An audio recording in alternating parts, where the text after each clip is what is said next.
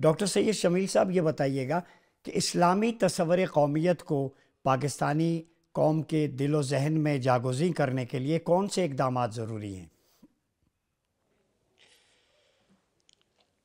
दस्तूर पाकिस्तान उस तिहत्तर के तहत जो बुनियादी पॉलिसी के असूल दिए गए हैं, जिसके तहत एक मुनसिफाना माशरा बन सकता है और दलो इंसाफ का क़्याम हो सकता है।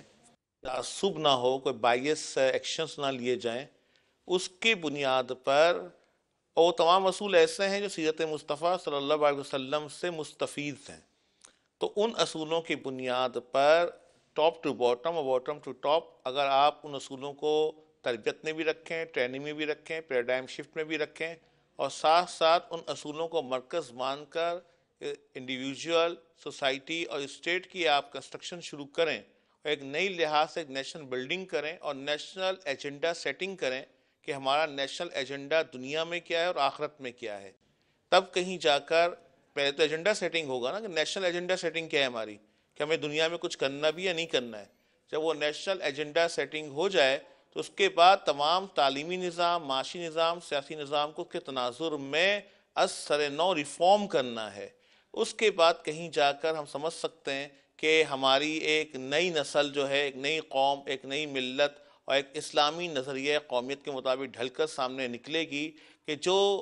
ससे अहमद ख़ान के मुताबिक एक हाथ में साइंस को रखेगी एक हाथ में कुरान को रखेगी और, और सर पर उसके कलम तैयबा ला रसोल्ला का ताज होगा। तो इसके लिए मैं समझता हूँ कि आपको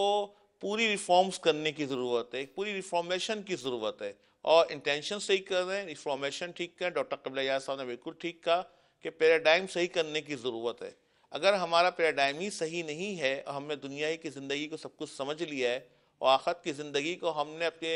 पूरे निसाब से ही निकाल दिया है अपनी ज़िंदगी की डेली लाइफ से निकाल रहे हैं तो मैं नहीं समझता ऐसे माशरे को एक मुस्लिम माशरा कहा जाएगा बल्कि सूरत कहफ की जो आखिरी आयात में साफ़ कहा गया है कि वो लोग जिन्होंने दुनिया ही की तरक्की को सब कुछ समझ रखा और दुनिया ही में लगे रहे आखरत में उनके अमाल का हिसाब ना होगा और आखरत में वो खसारे में होंगे। जी तो सवाल ये कि मेरे और आपके खसारे का ताल्लुक तो वल असर की रोशनी में तय होना चाहिए।